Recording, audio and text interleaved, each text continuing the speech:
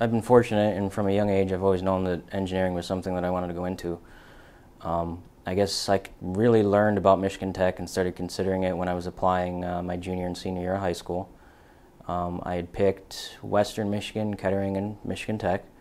Um, I did a on-site tour of Kettering, and uh, I was pretty convinced about going to Kettering just because of the location and the co-op opportunities and all the extracurricular programs that they had to offer. But uh, my parents suggested, you know, you should really go visit one other school, you know, just to have some options. And I said, all right, sure, you know. And we went up to Michigan Tech, and I fell in love with the campus and found that they had a lot of the same different uh, kind of things to offer, um, and certainly at a more reasonable price too. So that was that was something that was important to me because uh, it's uh, Kettering is almost like a private kind of school. The rates are at least so. Um, yeah, I, I, came up here, and one of the first things I, I said to my dad when we drove downtown uh, um, over the arch there, uh, they had that walkway, and I said, "Wow, it's, it's almost like you're kind of," because it was the middle of winter, and uh, the kids were playing broomball at uh, 1 a.m. in the morning, and I said, "It's almost like you're coming into a ski resort rather than a college." And he says, "Yeah, it kind of looks that way." so, and uh, I'm an outdoorsy kind of person, so it just it was a natural fit.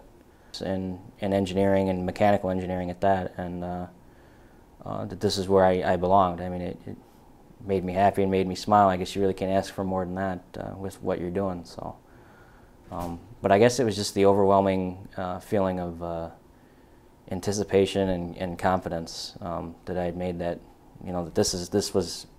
I knew that that's what I wanted to do, but now I, I have confirmed that and uh, was just really excited for um, all the opportunities. And I couldn't wait to get up here and start, uh, you know, have two, or three different machine shops at my facility or at my disposal, and uh, to take advantage of that. So, um, I'd always, uh, my dad wasn't very um, hands-on, so when I got into uh, working on cars and uh, different things like that, I always had to teach myself, and to me, it was just another extension of that. Um, now I had taught myself the basics uh, with hand tools and whatever, but uh, now to have uh, you know, CNC mills and lathes, and just to continue that process, you know, to teach yourself. And it was uh, the next logical step, I guess, in addition to the, the coursework too. So.